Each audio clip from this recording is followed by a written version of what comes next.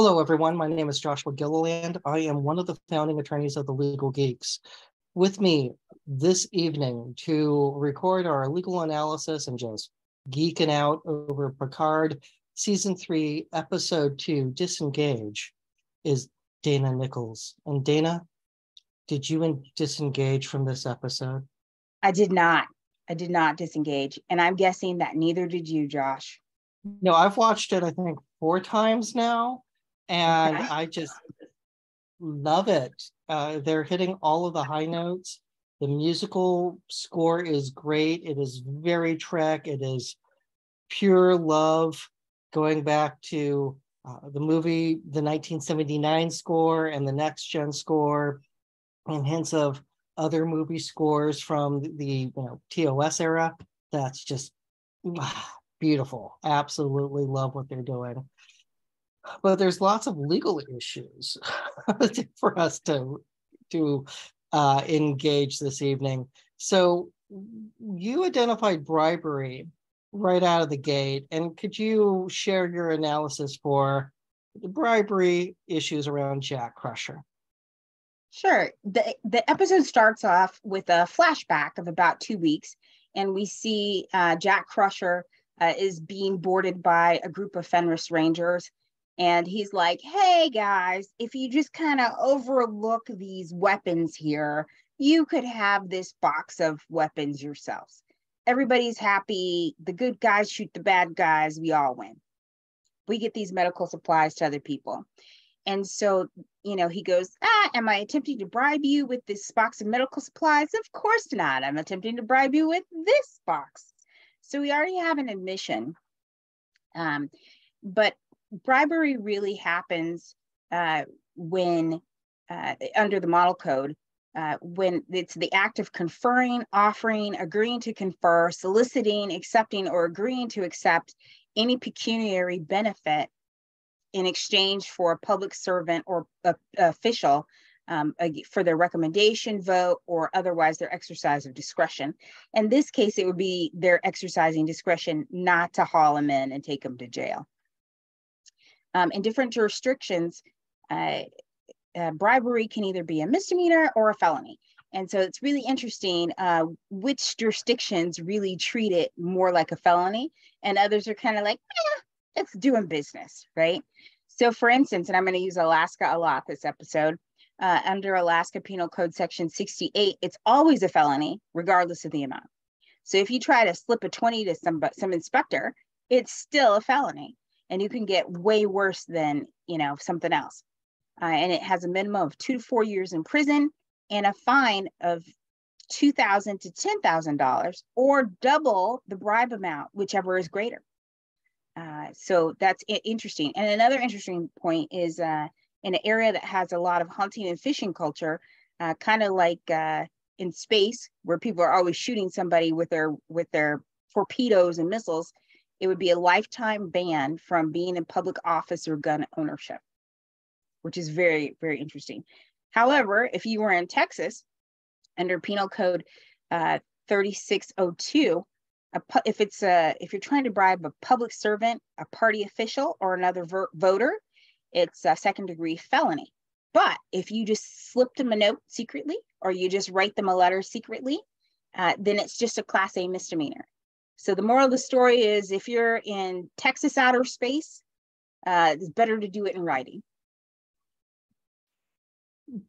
Fascinating. Now, connected to bribery, is the Federal Corrupt, or excuse me, the Foreign Corrupt Practices Act.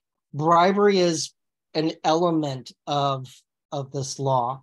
It was enacted because there were US businesses doing, you know, business overseas where they would have to bribe foreign officials in order to do business.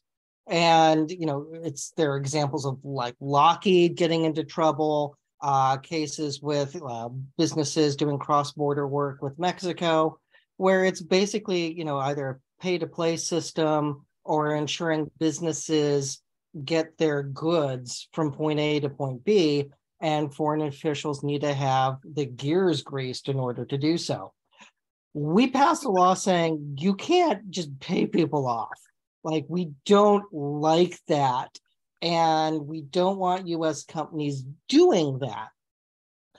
What Jack Crusher is doing is highly related to the Foreign Corrupt Practices Act because he's trying to enter another planet, which would be like a foreign nation.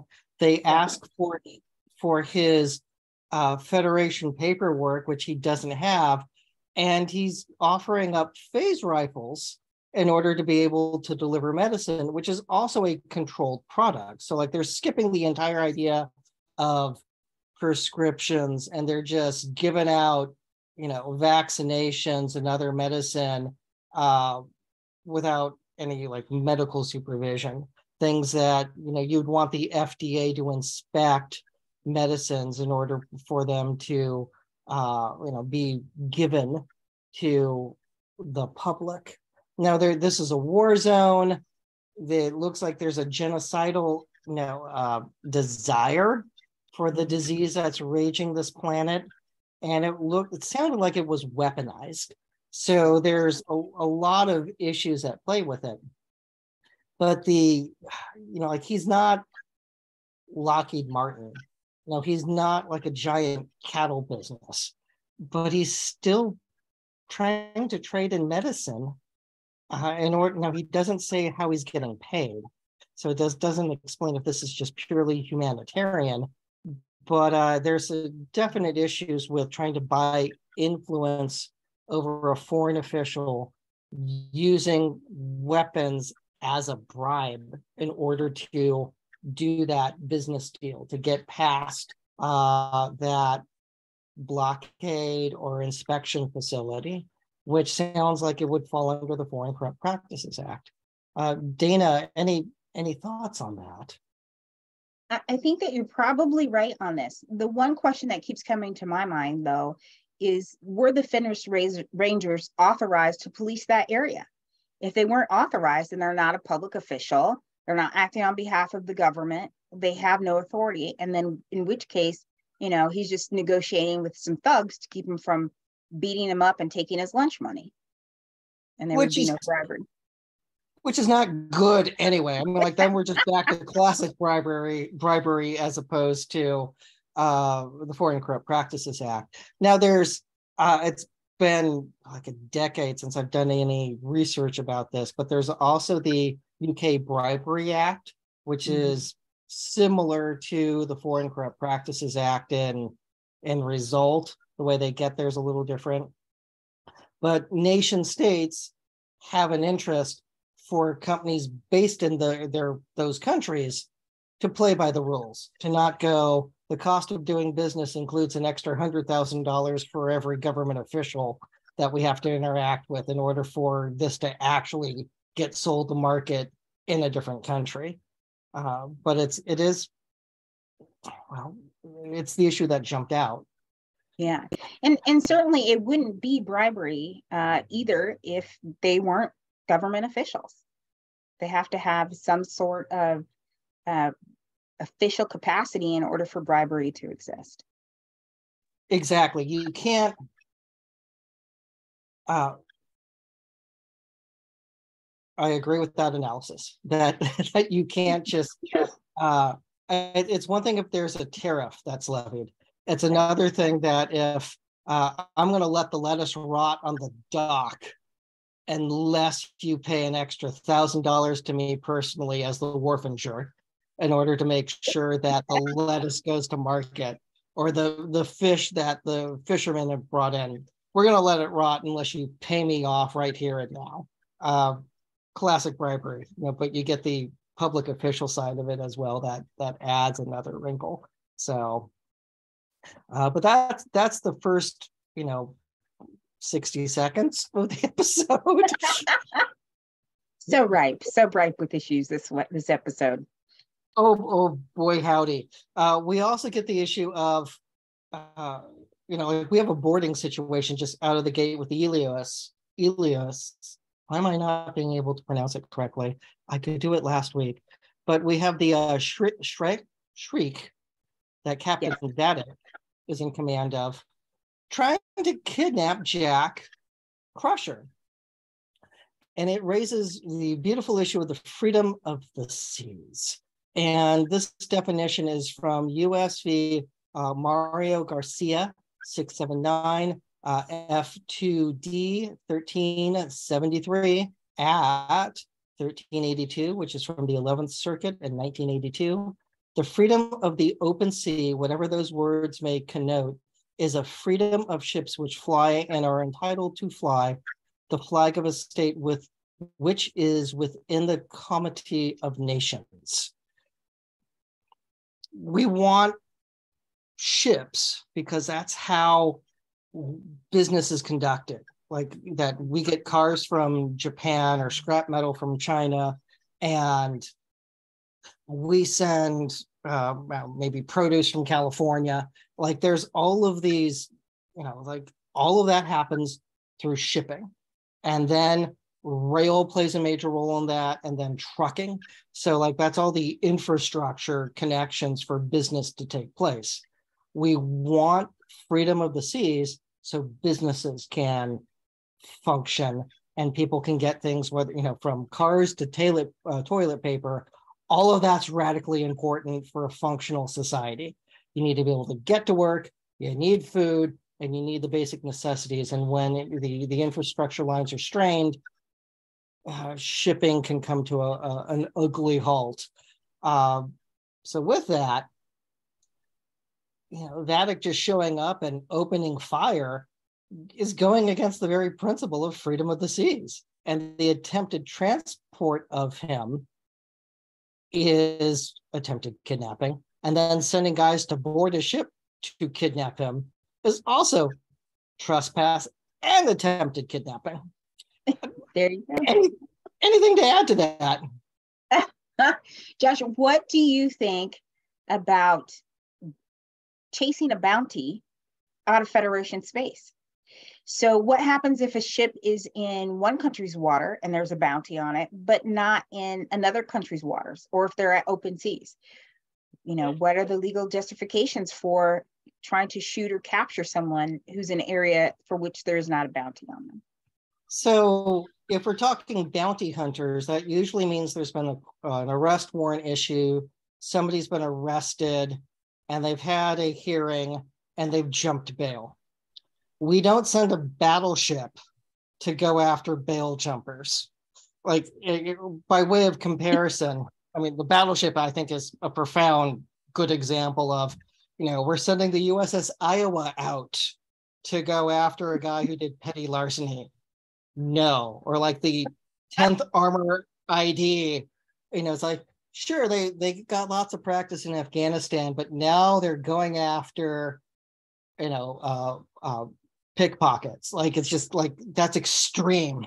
It doesn't match uh it would look more like the mandalorian or or like the la sirena for for someone going after a bail jumper in the star trek world opposed to a massive battleship that can throw starships at each other.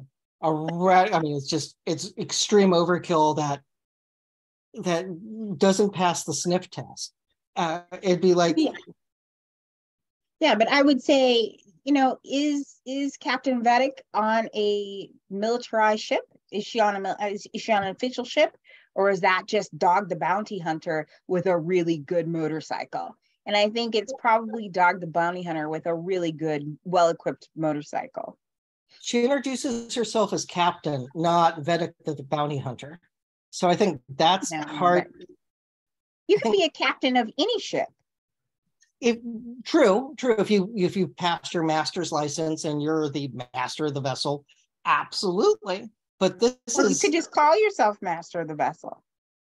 Yeah, but we we have paperwork and guidelines and tests and all kinds of security requirements. Detail. Uh, yeah, some of that post 9-11 rules that we put into place, like you just can't can't go get a pilot's license. Like there's, you know, and, and shipping is important. Now, the other factor is civilian ships aren't armed to the teeth. So the a princess pirate ships are. Yes, but, but and like she seems to be a pirate. Are but they're that that vessel is heavily armed with everything that's in the Federation arsenal and then some, and then the unknown weapon that they don't know what it does. So all of those are red flags for that's a big ship with what 400 guns to send after one dude in a beat up jalopy. Uh, just the the parity doesn't match, uh, which which is why Shaw's like, yeah, we'll just turn him over. It's like, are you sure about that? That doesn't. It, it sounds like they're going to. Very, it's not very Starfleet. He's either going to end up dead or used for something and then end up dead.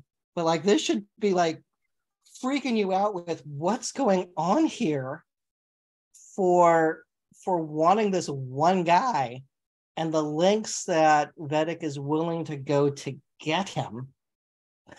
And other red flags for her would be the fact I mean, they're smoking on the bridge, but there's like a hint of a southern accent. And the, the name of the vessel is after an earth creature. Where are you from? What's going on here? how do you have access to uh, reports and that you like recognize Shaw instantly? Now, like, which meant that you either had access to the database in advance and you went, that's the Titan, I'm going to look it up so I can just sound creepy and weird out of the gate. Or they're doing it in real time with facial recognition technology. And, and she's reading about him while interacting with him. Like like you're doing a deposition and you're getting good testimony. I don't know which it is. She seems the prepared type. But those are red flags that they know a lot about us and we know nothing about this pirate vessel. And I, I would say that all of that also lends to um, I, I'm gonna I'm gonna I'm gonna throw it out there and you can take back my Starfleet card if I'm wrong. I think that she has something to do with the folks who flipped the star the Starfleet recruitment center. I think that unidentified weapon was probably her. Um, and the fact that she's able to, like you said, smoke on on the deck. Uh, it's dark and gloomy. She has all this inside information. Uh, she may very well be the person that Beverly Crusher was like, trust no one. Don't trust Starfleet because there's a leak inside, and perhaps she's the leak inside. Uh, agreed. I mean, it's they wouldn't have two parallel stories that had nothing to do with each other. Uh, well, it could be Jack Crusher. It's all his yeah, fault. Could, yeah, there's there's a reason to go after Jack, but I don't know what it is, and uh, so we'll find out. But uh, with that, we get uh, a little bit more with Shaw. He doesn't want to go after he doesn't want to play hero. He doesn't want to go save picard and riker which i it's like no i don't want to go save nimitz. Like who would you just don't no schwarzkopf is in trouble? No i'm leaving him. It's like colin colin powell needs us. Okay like we go. Like it's just like we go. Uh, as opposed to yeah you know i'm not going after those guys who you know think they they they have brass medals and thus they're special. It's like man up dude. Just and you're you're you're absolutely right. And i think too that you were right last episode too it pains me because i do want to put the man out in airlock but when uh, Captain Vadic is talking about him, she's like, "Hey, you're paralyzed. You you know all this happened, and you're still functional." So maybe his lack of action wasn't just him being a jerky face jerk. It could just be that he's paralyzed with fear and he's unable to make a decision. And so certain things are triggering his his PTSD, for a lack of a better word. And so, you know, that stands to reason that okay perhaps he is paralyzed with fear he didn't call for backup he didn't say hey get other starfleet vessels out here he just didn't do the correct protocol now and it's weird before engaging before they go to the nebula they could have sent a message. Yes. And maybe they did. Maybe that's how we see LaForge later is that a message is sent for, hey, we need backup. Like that would be, that would show that he's a competent captain for, we're going to need some help here. It's going to take them a while to get here, but we're going to need right. some help. which would restore some faith in the system. But he, if he survived the battle with the Borg, where 11 million, you know, Starfleet officers are are killed, and I, what was it like 39 ships, some some obscene number. Uh, and if he had a very negative experience during the Dominion War, maybe he's just super cautious with the decisions that he makes to keep people alive. And like that, you know, the fact he doesn't engage in hazarding a vessel, which you can be court-martialed for, the fact that he plays it safe to keep everyone alive, that's not necessarily a bad thing. This but but you can be gutless in a crisis, and that that can get others killed. And it, it can, you know, it's like if you have the, the power to stop a Pearl Harbor or 9-11 from happening, and the fact is, you know, you're you're the you're the guy in the radar booth who thinks that the oncoming zeros are just the B-17s flying back from a mission, and you don't because you just didn't have any intestinal fortitude to do more with like, hey, let's go check that out. That could have saved the day. Like right, right. And the yeah. difference between being a hero and a zero in that situation is so darn close that you know it's one decision away. And so I think that he is taking is it, it inaction is an action too. And I think that he's prone to inaction probably because he's stricken with fear. And like most people who are fearful, he lashes out when he's fearful. It's like the barking dog. You know, I'm afraid you're going to take my bones. I'm going to bark at you. And it highlights that Seven is a good first officer because she calls him out. She she confronts him in private so it's like you shouldn't do that in front of others because that's just bad for the chain of command overall. It's it's back to the Caine mutiny if if that's happening. right. But being able to go, you could be the you know the the hero that saves heroes. It's like, oh, that gets him.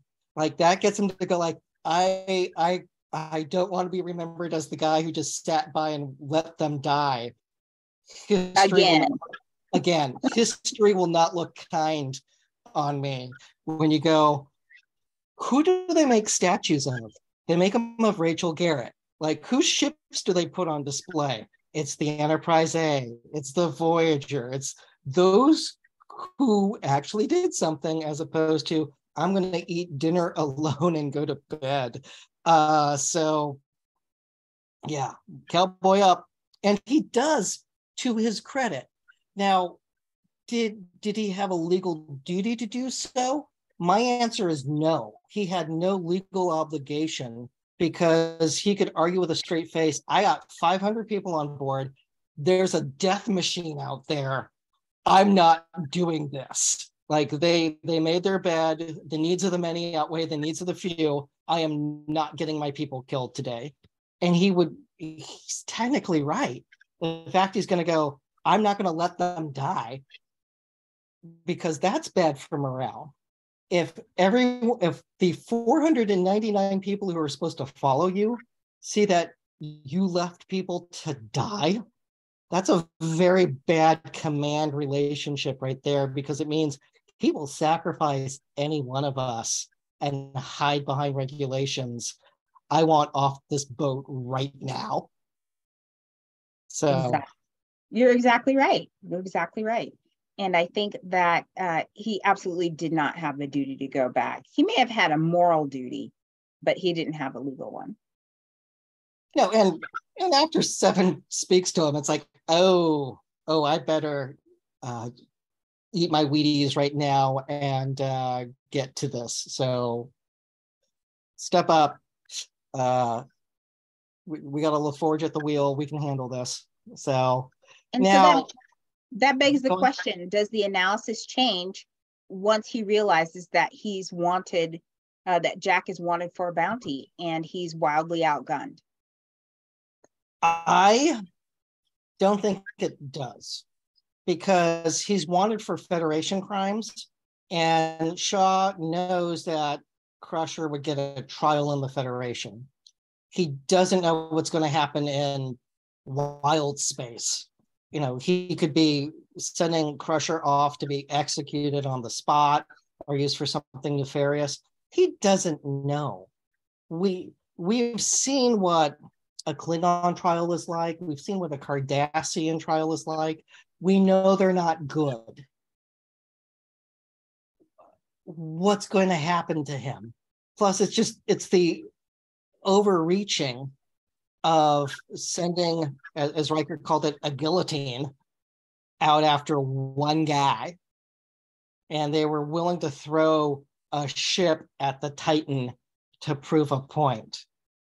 Right. You I mean, he was, you know, Shaw was initially right with like, we don't negotiate with bounty hunters. Stand that ground. Uh, because once you, appeasement never works, ever, because you're just giving into the bully. And whether it's, oh, uh, uh, the Rhineland, Poland, Ukraine, appeasement doesn't work. You have yes. to stand up to the, to the bully. That's absolutely true. It doesn't work on the playground either. And that kind of brings us to the to the question uh, when Captain Vadic threw a ship at the Titan, was that attempted murder? Absolutely. just... she was, but she was like, you know, I'm going to give you the opportunity to think about it.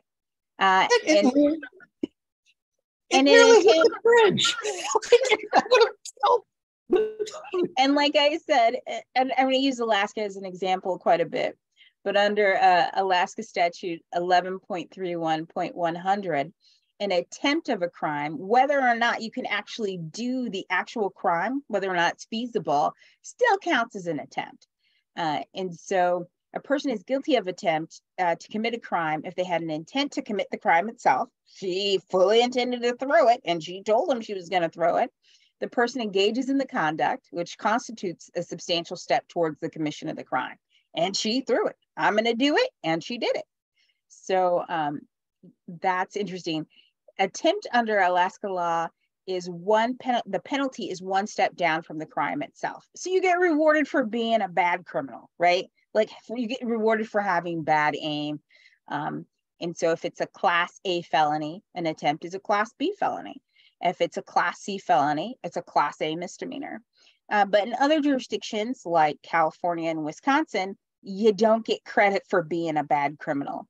The attempt is just as bad as if you actually committed the crime or completed it. So you might as well go ahead and complete it. if you're in space and you're going to throw a starship at somebody, just kind of make sure to hit them.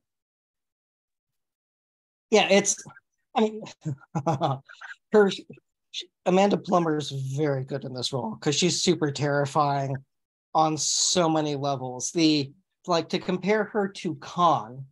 Khan is it's like you have Ricardo Montalban, who's suave, sexy, worked out, ripped, and you know he's a sophisticated gentleman talking to you who will disembowel you. Like you just, he's super terrifying.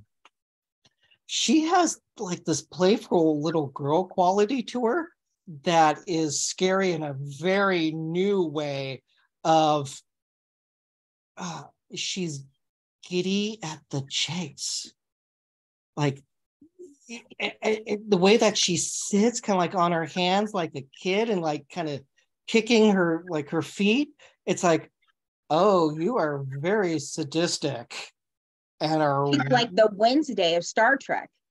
Yeah, uh, it's just yeah. There's there's lots of other comparisons that we could work in for. She's sadistic. She's um, the kid pulling but you know wings off of butterflies. It's like we don't want you to do that. The fact that that was your first inclination is scary, and her her knowledge her resolve, the way she pronounces names, all it's just she's read the playbook, so she she's definitely at the advantage. Uh, but it, it highlights, you know, towards towards the end where Picard really gets his groove back.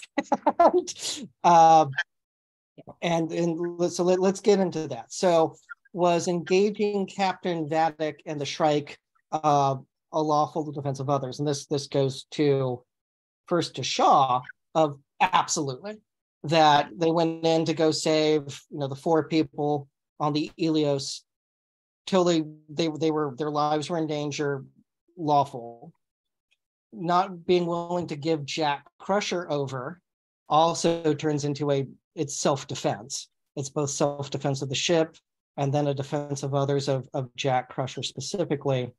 And I'm just the acting between uh, Gates McFadden and Patrick Stewart. No words are said, and it's it is thespian stage actors just on their A game, conveying extreme loss of like, yeah, he's yours, uh, without saying the words is, and in Picard switches to back to Admiral mode. It's not the like quietly making suggestions. It's belay that order, and he takes command.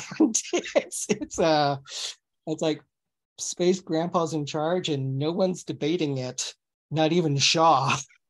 It's, right. He's like, I'm not letting you take my kid. This happened once before. It's not happening again. I'm not losing nope. another kid. Nope. And nope. And and when Shaw, when he tells Shaw like he's my son, it's like, okay, I'm on board. Let's do this. like, yeah, he's like, like, oh, he's one of us. All right. Sorry, I was wrong earlier. It's just like uh, a San Diego politician that I won't name. Uh, he commented on a Marine that happened to cross the border with his sidearm and was like, whoops, and went to turn back around to come back into the US.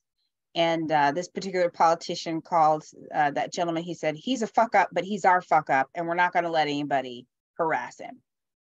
And so, you know. Good, good. It's like. Your Honor, he's my clown, and we are not going to let this go down without a fight. It's like, oopsie. Sorry. Sorry. My End bad. Quote. Yes, you know what? But it, it worked. It absolutely worked. And you know, they fire they fire on the vessel that's already fired upon them and go charging off into a nebula, very Wrath of Khan and a bunch of other Star Trek episodes that seem, you know, followed with we'll fight in the nebula where we'll have an even playing ground. And it just it worked. So Josh, talking about the relationship between um, Jack Crusher and Jean-Luc Picard, what do you think their rights are amongst themselves? Like, what are the parental rights of Picard, and what are, are Crusher's rights to to Picard? What do you think about those? So they they're limited. If if Jack was still a minor, there would have been rights to visitation. There would have been you know child support. There would have been a bunch of those issues. Uh, I'm not sure if back child support would be owed on a kid that you didn't know about. I that's not something I've ever researched, so I don't know if you can just be surprised, hey, I'm 23 and uh, you weren't there because you didn't know about me. Now I I want you know three hundred thousand dollars. Like it's I I I don't think that would work. I think the issue then turns on knowledge. But I do think inheritance is clearly affected. So if Picard died, or if either of them die intestate, that is without a will, that property could flow. You know, could flow to a child if they're, you know, with Picard, there's no wife, no spouse, no other living heirs.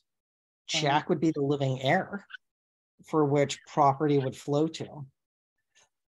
On the flip side, if Picard has a will that says, I want this all to go to all these places and doesn't know about an heir, if there isn't a provision about wild heirs that could exist that might challenge a will that say that they're cut off, I think Jack has a, a good reason to challenge the validity of that will in probate if Picard dies. Flip side, uh, if Jack died, his property would go towards, again, there's a huge flow chart with this. You could go to spouse or kids. If those don't exist, then back up to parents. Uh, if they don't exist, like to siblings, like there's an entire org chart on how this is supposed to play out. So there are clearly rights there, but those rights don't vest until somebody dies. And that would, you would need to call your probate attorney to go like, turns out I got a 23 year old kid. And I did not know. Let's make sure that we cover our bases here for Jack to be included. I also think uh, the the Picard vineyard happens to be in France, and they're under the Napoleonic Code. And in the Napoleonic Code, um, uh, Jean Luc inherited the rest of the vineyard when his brother passed away. And under Napoleonic Code, uh, Jack may have a claim to a portion of that uh, of that estate, even before Jean Luc dies. so. Yeah, it's. I haven't studied the Napoleonic Code in years, but that's. Right. Uh, we'll the, wait for friends from Louisiana to let us know. Yeah, it's you know, it's the 49 states and Louisiana. Um, the other issue at play um, that that's worth talking about with Jack is if I were Picard, I'd be a little freaked out on multiple levels. I mean, there's the finding out that you you have a kid.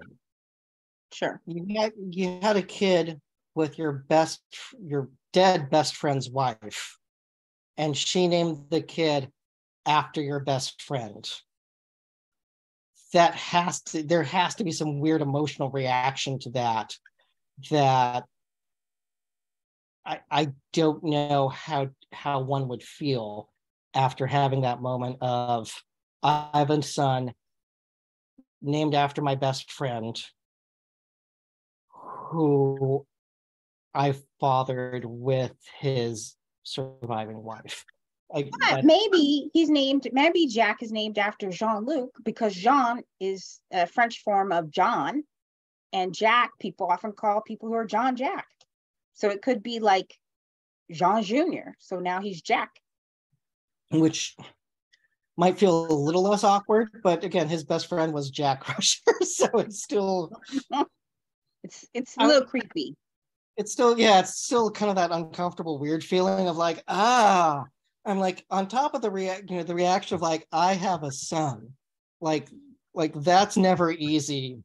Not that I've experienced it, but I think it'd be I think it'd be a rough afternoon to find out. Oh, by the way, and and then the added trauma of I wasn't there. What damage did my lack of involvement cause on this person's development because I was not there? And I think that's parents should be there. So, sure. uh, unless they're bad, and they shouldn't. Uh, but human nature is you want to find out who am I, where did I come from, and having a father figure, you know, having a father figure and a you know mater- maternal figure is important for human development. And would Picard be able to sue uh, Beverly Crusher for alienation of affection uh, because she disallowed Jack from knowing him? and I would have to say probably not. No, that's that's a very crummy good... thing. It's a crummy thing to do, but it may not be illegal. Yeah, this gets in. It this ties to you know, choice pretty quickly. That a woman's in mm-hmm. charge of her body. She she can decide to have an abortion and or have a child or not. Like re- reproductive rights matter. But you know the the balancing that gets really uncomfortable and messy is figuring out if somebody has a child and they just don't tell the father about it, that's I would want to be there. Picard probably wanted to be there. You know, like this, Maybe. This could have it could have changed. It's could have changed his life entirely. Like when he was in the Nexus and Generations, his fantasy was wife and kids, and mm-hmm. and a big family. So like that was his secret desire, and he didn't get that but he steps up immediately. Like he processes the news and goes to war. So all right. good. Uh, all good. Are there other other issues, legal issues from this episode that you would like to address? Sure. Uh, so when they're on the Eleos and uh, uh, Captain Vadic employed and uh, uses the tractor beam to try to pull them in, and instantly you hear alerts and alarms going off. There's hull breaches here and hull breaches there, and you'd have to think of products liability. A ship is designed to be in space. It's supposed to be able to handle a certain amount of activity. Um, and it's not unusual in this time. It's unusual in our time, but it's not unusual in that time that people would be brought in by a tractor beam. And so for the ship to collapse under that um, would bring to mind uh, products liability and design defect. Was there a defect in the design? Uh, and a company that creates a ship would have liability for design defect if there was a foreseeable risk posed by the product when the product was manufactured and used for its intended purpose. Um, under design defect, it's strict liability. Uh, so really, was it feasible? Yeah, it's feasible. Tons of ships have are are able to withstand being tractored in. Was it economically feasible? It's on tons of ships. So it's not like it's some newfangled thing that's just so expensive and so outrageous that it makes it almost impossible. And then the last uh, question is whether or not um, it was in opposition to the product's intended purpose. So could it perform the function that it was supposed to? Like if you took a skateboard and you put handrails and guardrails and bumper stops on it and took the wheels off so it would be perfectly safe. Yeah, it's safe, but now you can't use it as a skateboard. It goes against its design purpose. And making it more structurally sound uh, seems like it would be better. So maybe they use some faulty materials, or maybe it was a ship that had been scrapped and they repurposed it and it wasn't up to its standard there i will add a defense for the company that made the eleos in this situation they crusher had maneuvered the ship near a nebula for an extended period of time and being around the ship uh, excuse me the ship being around the nebula damaged the ship. They had systems failing. So the issue might be that the ship wasn't used for its intended use. Therefore the tractor beam did more damage to the vessel because of the damage the vessel had sustained from the nebula. So I think that would be the defending the the the shipbuilding company. That's a that's a good point. But what about the warning system? The warning system should have functioned as designed and let them know, hey, look, your our our, our structural integrity is pretty darn low. I don't disagree with that. However, how long have those alarms been going off and Crusher kept the ship there in order to hide? So that's the that's true. We we need to look at the logbooks and go how much of this was Crusher trying to hide that damaged the ship because they he references the the systems that have failed and and other problems they have and that they're running on fumes because of being the neb- near the nebula for an extended period. Yes, absolutely. So, okay. so you know, going further into the episode, um, we see that um, Rafi decides to go out, out and meet this Ferengi who is a Ferengi who is uh, she's trying to hunt him down to see if he's the guy who was peddling the weapon uh, that destroyed the recruitment center. Uh, and she's there, and he's like, "Hey, take these drugs. I'm gonna make you take these drugs. You look like a con artist to me, unless you take these drugs." Um, would him insisting that she take these drugs with him pushing it on her um, would that be a crime would that be um, deal drug dealing and i would have to say mm, probably not he's not charging her for it it is illegal uh, but she takes it herself he supplies it he's a supplier it's illegal and what was the exchange the exchange was for information which he didn't get anyway uh, I the fact he had it and it shows he's in possession of it with intent to distribute. So I do think he can be prosecuted for some drug trafficking tr- crimes. The issue, the thing I focused on with she took an illegal narcotic right. under the guise of being a, a confidential informant, undercover, and there are limits with how far someone undercover can go. Like you're not the undercover police officer is not supposed to commit crimes. Like they're not supposed to murder someone in order to show they're on the mob side. They're not supposed to do that. And the issue of taking the narcotic, does that cross the line for someone who's an addict? Uh, also highlighting the fact it would compromise her skills and her mental capacity because she doesn't know what she's about to take. So I, I, think what she did was highly reckless. And I mean, like she could have said, screw you, no, you're dodging the question. There's a way that she could have pushed back, uh, but she's obsessing at this point in time. Now we it does raise the issue of Worf's entrance. Well, Worf, oh, sorry. Worf being the security guy makes sense. All of the messages that was sent, I now hear in his voice. So, Absolutely. So my thought for Georgiou, Bashir, or Garak were all wrong.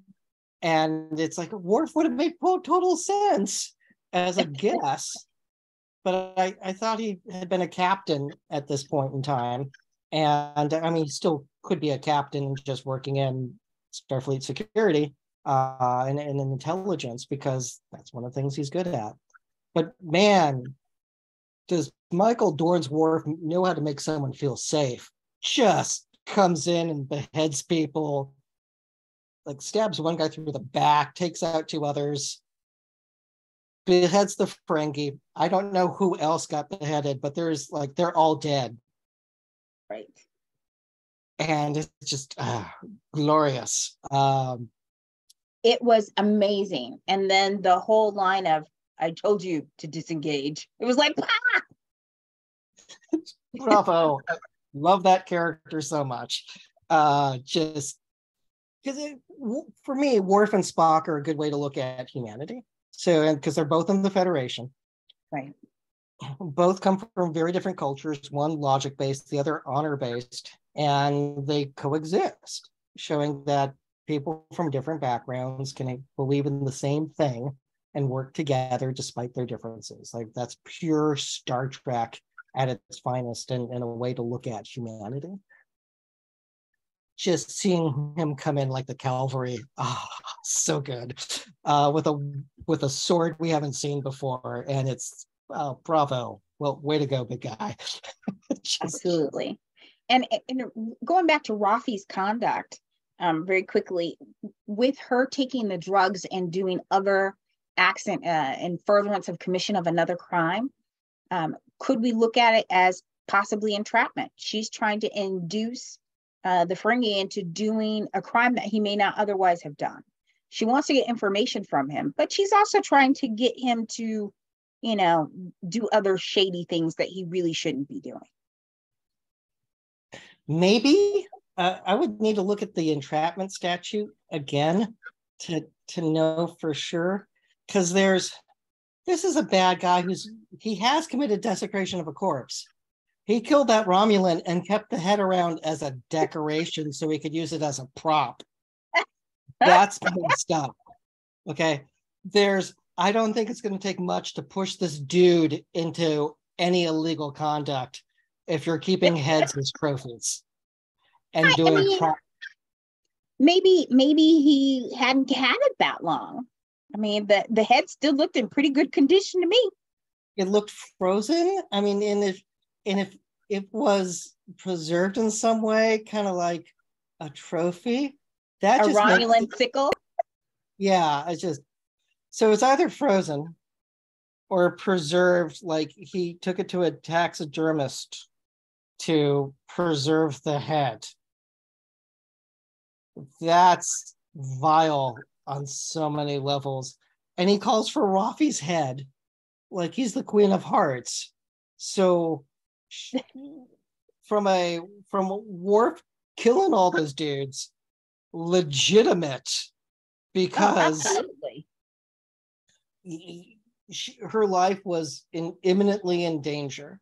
So, you know, under the self-defense statute, which is the same as defense of others, she could have used lethal force to defend herself to escape from getting her head cut off. Right. Thus, Worf going in, killing all those guys, and then saving her. First off, good manager. That's the type of leadership you want in a supervisor. So good job there. Uh, and it'll help her get cleaned up from the drugs and they'll figure out the, their next mission but it's like rock on like that's that's the stuff that we like and rafi is also committing a crime uh, when she's under the influence of the drugs she's committing the crime of penal code section 5150 under california law when you're unable to care for yourself or others uh, and in this instance she's not able to care for herself she is not able to keep herself from being killed She's not able to walk. She's not able to talk. She's not able to do anything. Um, and so that while it's not necessarily a jailable offense in all circumstances, she's definitely not able to do that. And they're able to um, place a hold on her for her own protection. Public drunkenness, effectively. Right. Or or incapacity in some sort in some manner. Yeah. Yeah. Good points. Good points but Any- I I loved Michael Dorn coming back. I love Michael Dorn. And if anybody out there is listening and they're listening to me, I want Captain Worf. I want Captain Worf. I want I want that show. Yes. Absolutely. There there there should be spin-offs from this because you know these folks are still fit and you know and at their A game for being able to do a series. So give us a spin-off with Worf as a captain and I'm all on board for that. So the the book had Worf uh, succeed uh, Picard as the captain of the Enterprise. I hope they make that official that Worf was the captain of the Enterprise. And the pictures the of him in this it shows four pips, so it shows him a captain. So right. it's like yes. So give give us throw us a bone that he's he's been in the fleet. You know, he's doing security now and getting up. Uh, so let, us yeah. do this. Uh, but yeah, I would love to see Captain Worf. Um, I, I, would like to see. I look forward to seeing Geordi. Uh, so. Uh, and maybe he might. This is me um, prognosticating for the future of the show, and maybe Worf went to uh, back to the Klingon uh, area, and they brought him back to Section 31 because they knew there was something going wrong at Starfleet. Um, they knew that there were people infiltrating, and who's more honorable than a Klingon? They're not going to be turned. So they wanted someone that they could trust who was out of the loop, but who uh, was very familiar with Starfleet, and that would be he would be perfect for that. Yeah, he killed Gowron. you know, it's like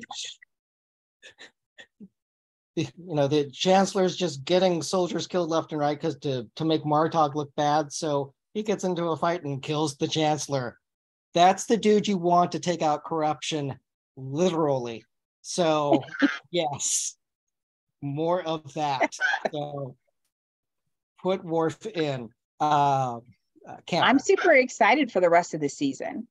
Uh it, this they're hitting all the right notes. You know, the ship looks like it belongs in Star Trek.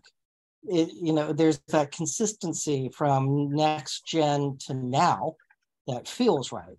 Uh, the musical notes that they had, uh, like they're hauntingly similar to other tracks, and and there's some of the uh, there were scenes that like where, where you're finding out it was either about Jack or it was with Vedic or Valdic that it's like, was that from Search for Spock? Like, there's just this a lot of Goldsmith and Horner sound that they have, and it's just like, mm, it's very familiar, which is why it feels right. and it, and it's like, God bless them. They're hitting all the notes that that are just making Trekkies happy. So, uh, and after watching this episode, you know, it, it kicked into, you know, an episode from Strange New Worlds. It's like, oh yeah, Trek is good right now. It's it such is. a nice It is. And one of the uh, one of the things that I enjoyed about this episode were all of the one-liners. The one-liners in this one were just hilarious. Uh yeah, so like Captain Shaw going, "Sure, bring them all aboard. We're a hotel apparently." Like he's like, "We're a hotel now." Was like, "Oh wow, that's special." and Riker's like, you don't see it? like exactly. You don't see what I see here? yeah, it's like, no, I, I don't know what you're talking about, Will. You know, just it's like you're in denial. It's like I've seen pictures of you with hair. He has your hair. Like this is